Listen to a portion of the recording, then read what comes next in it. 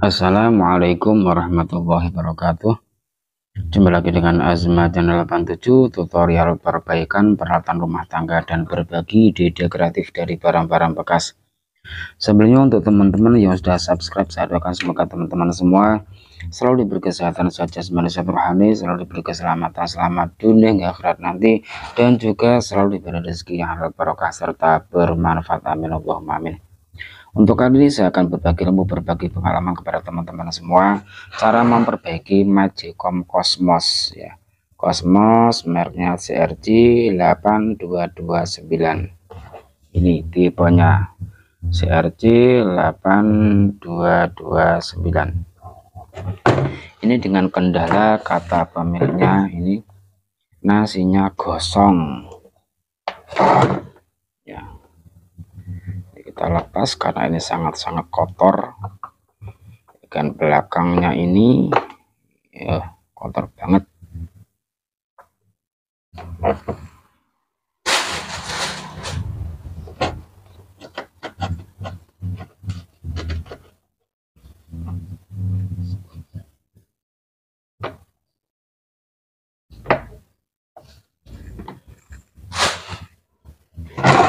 langsung kita coba colokkan ke listrik ya. Apakah magicom ini menyala atau tidak?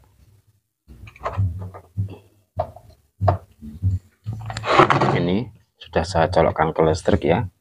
Ini untuk cook juga mati untuk warm pun juga mati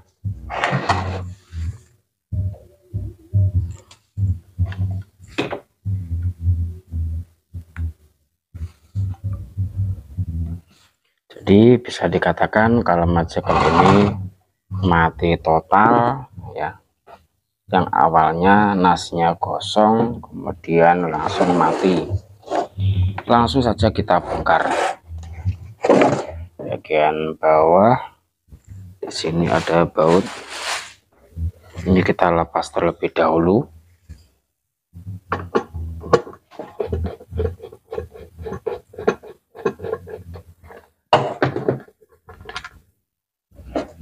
ya sering kali saya upload itu masalah magicom. Karena untuk yang mati total ataupun yang itu penyebabnya itu banyak banget. Dan ya yang sering datang ke tempat saya itu ya servisan magicom. Ini tinggal dicongkel cari celah ya. Yang sekiranya yang ini bisa masuk nah ini. Sudah terlepas.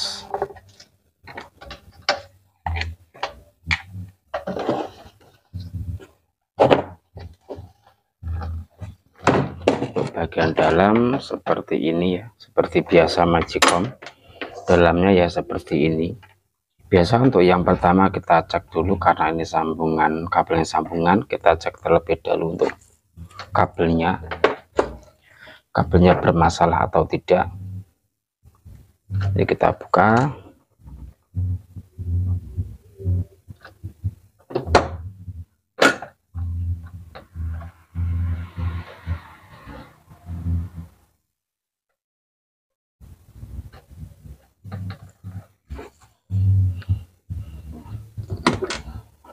Ini kita cek terlebih dahulu alat tesnya. Testernya ya seperti yang saya gunakan sehari-hari ya ini ya ini cukup simpel cukup mudah. Siapa pun bisa membuat dan bisa menggunakannya. Akan tapi ini bukan untuk tester tegangan ya. Jadi kalau kita tes harus lepas dari aliran listrik. Kita sambung ke sini kita cek kabelnya. Nah ini menyala. Bertanda kalau ini masih nyambung ya. Kabel tidak ada masalah. Kita cek yang satunya lagi. Ya ini juga tidak ada masalah. Jadi kabel aman. Kalau dirasa kabelnya aman ini kita rapikan kembali kita bungkus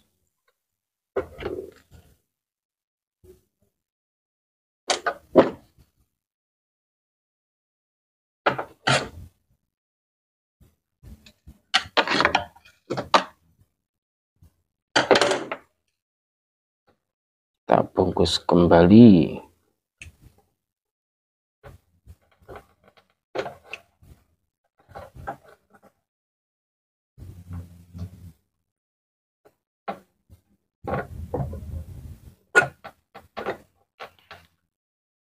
Lanjut kita cek langsung ke sekring ya setelah kabel. Ini sekringnya ada di sini. Ini sekringnya dibungkus ini ya saya bakar biar teman-teman nanti bisa melihat dengan jelas.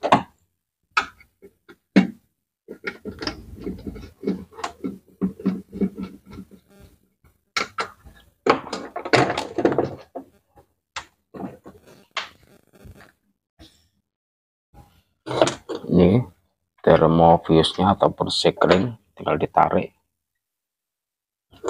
Ini bisa dilepas terlebih dahulu ya untuk ikatannya ini talinya.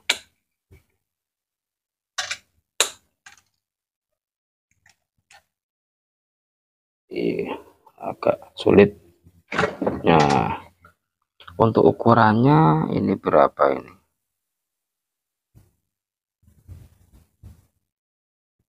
Nggak begitu kelihatan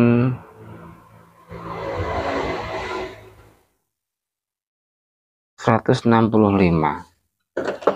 seratus enam puluh lima derajat.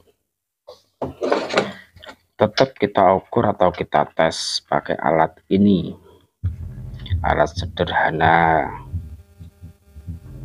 Tapi manfaatnya luar biasa ini.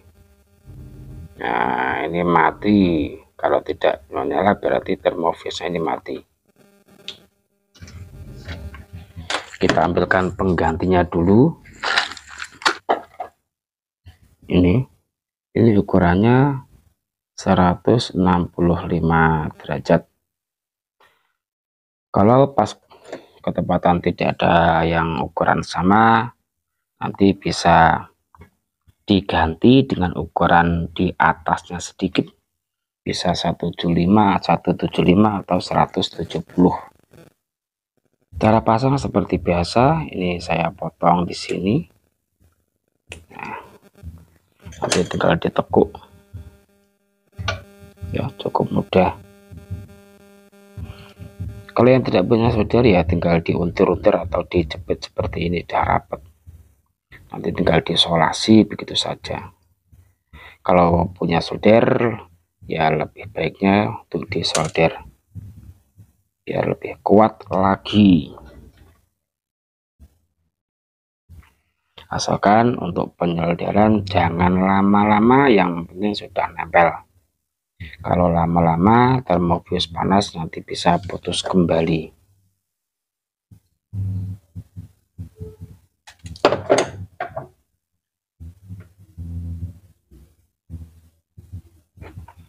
Sudah cukup.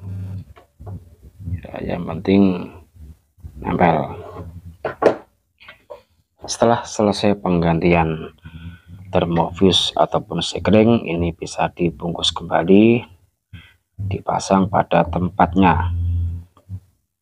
Ya ini digerayai ya digerayangi ini sampai dipegang-pegang ini yang ini saya perlihatkan tadi yang bekasnya mana ini?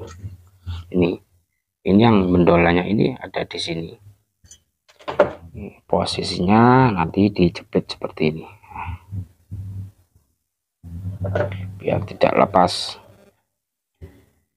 Ini juga harus menempel dengan bodinya ini ya tempat pancingnya nanti kalau tidak menempel nanti tidak bisa berfungsi dengan sempurna.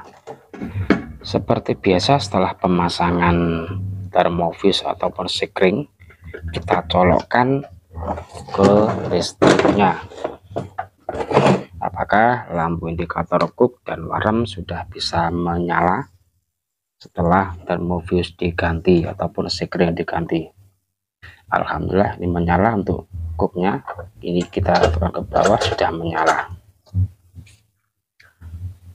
Ketika ini sudah bisa menyala langkah berikutnya pengecekan ke elemen penghangat. Kenapa karena nasi gosong itu juga bisa disebabkan. Karena elemen atas ini mungkin konslet ya menyatu kabelnya.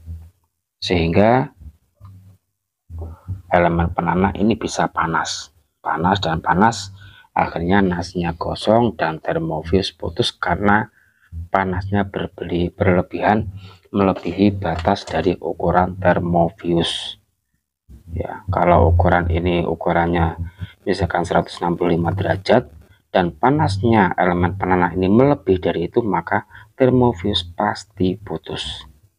Lanjut kita cek untuk penghangatnya. Bagaimana hasilnya? Apakah penghangatnya normal atau tidak? Kalau tidak normal tentunya harus kita perbaiki terlebih dahulu.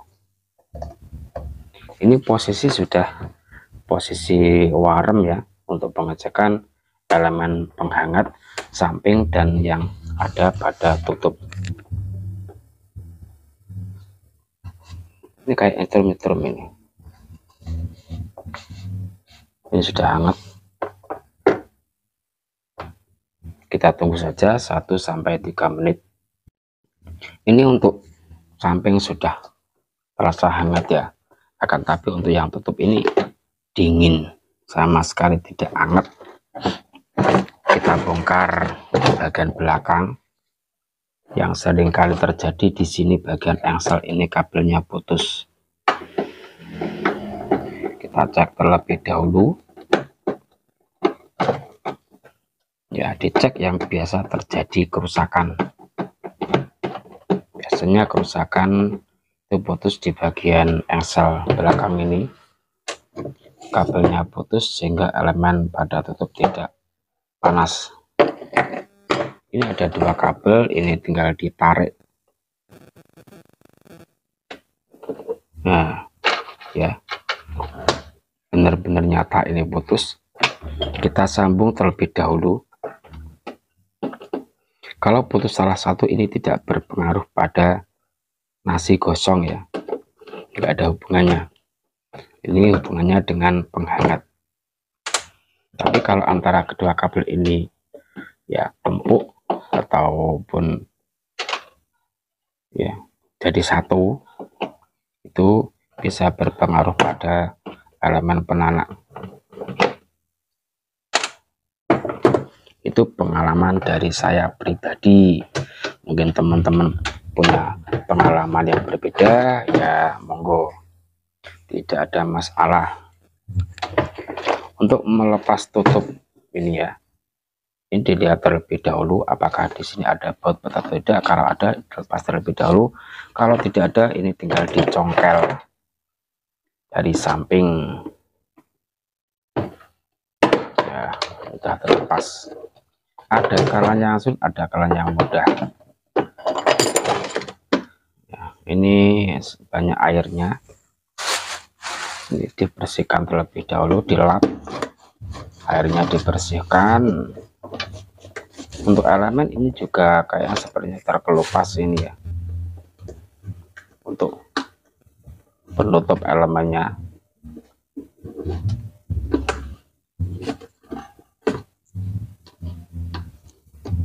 Ya terkupas seperti ini. Ini bisa gunakan apa tembelan panci ya. Ini kita sambung terlebih dahulu nanti hasilnya bagaimana?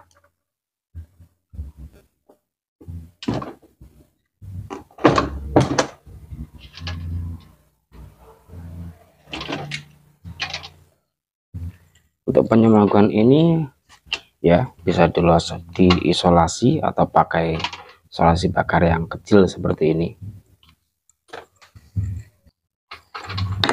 bisa kita solasi terlebih dahulu solasi pakai solasi biasa. Langsung pakai solasi biasa juga tidak masalah. Pakai solasi kertas ya. Ataupun pakai solasi plastik tapi yang bagus yang hitam itu. Yang kalau nggak salah merek nasional itu bagus. Solasi seperti ini. Lanjut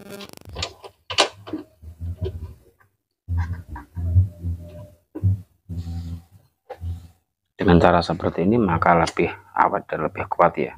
Nah. lanjut kita coba terlebih dahulu ya. Bagaimana nanti hasilnya? Hasil dari penyambungan kabel elemen elemen tutup yang putus apakah sudah bisa normal kita colokkan dulu kita tunggu 1 sampai 2 menit atau sampai bahkan sampai 3 menit. Alhamdulillah ya setelah saya colokkan ya sudah panas. Elemen samping juga panas. Ya langsung kita ya kita tutup kembali karena masih ada kerjaan yang belum selesai ini ya. Masih ada satu lagi yang harus dikerjakan. Ini kita tutup kembali dulu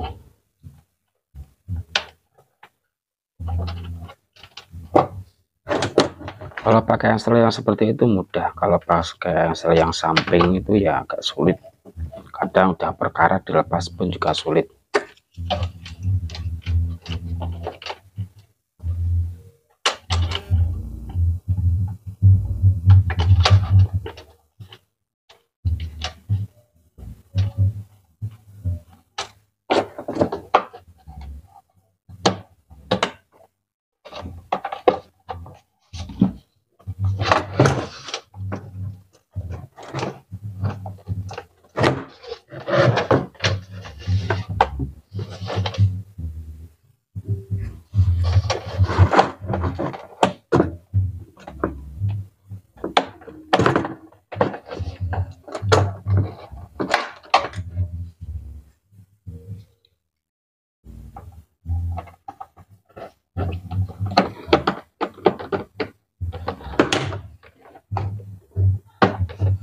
ya intinya tadi nasinya gosong. Kalau untuk pengecekan lain tidak ada masalah ya bisa langsung dicek untuk bagian otomatis magnetnya ini. Karena ini kelihatan juga normal. Caranya cukup mudah sebenarnya ya. Ketika kita posisi warm kita colokkan ke listrik posisi warm. Ya kalau elemen penanah ini tidak panas berarti tidak ada masalah. Coba kita colokkan dulu ke listrik ya.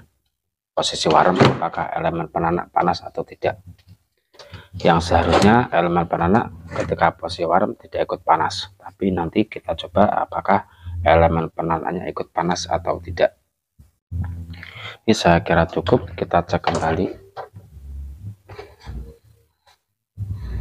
Untuk elemen penanak ya tidak panas ya elemen penghangat panas yang tutup pun juga panas tapi elemen penanak tidak panas berarti normal.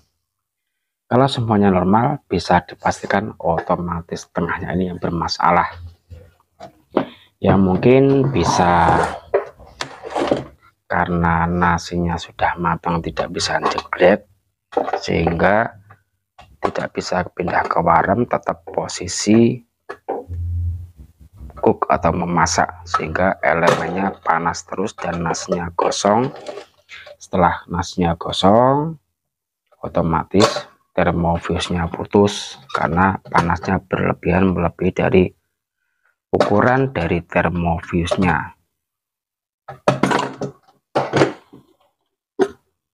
untuk kondisi dalamnya seperti ini otomatisnya.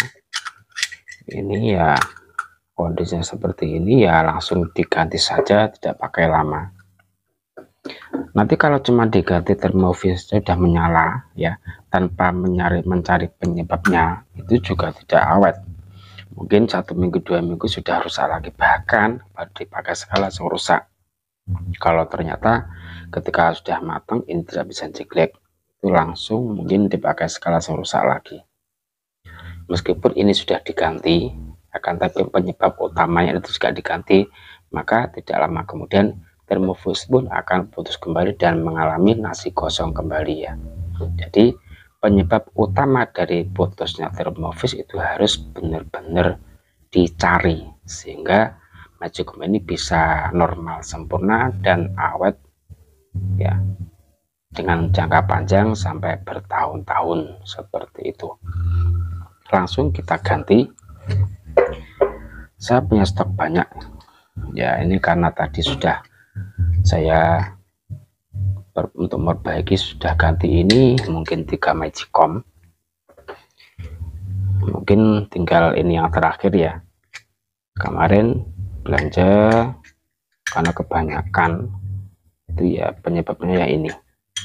Ya ada juga karena penyebabnya juga ada tapi kebanyakan kalau termofus putus itu harus benar-benar diselesaikan penyebab putusnya termofus kalau tidak diganti ya percuma. Tidak lama lagi termofus akan putus kembali.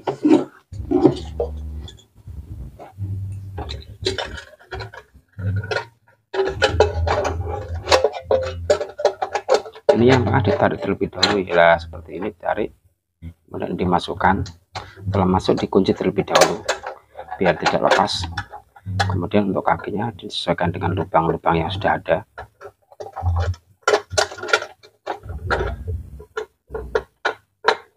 Nah tinggal ini ditekuk keluar. Seperti ini.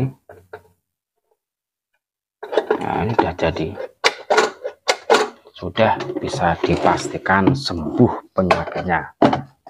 Dan termoflus tidak akan putus lagi. Dan ini bisa dikasih oli ya untuk tuasnya ini agar licin. Bisa juga karena termofus putus itu karena dia ini seret juga bisa. Misalkan ini masih bagus masih baru baru diganti ternyata masihnya gosong ya mungkin karena ketika sudah matang ini tidak bisa jeglek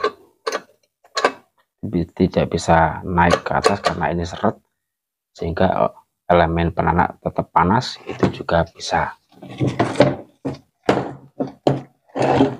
Alhamdulillah pengerjaan sudah selesai.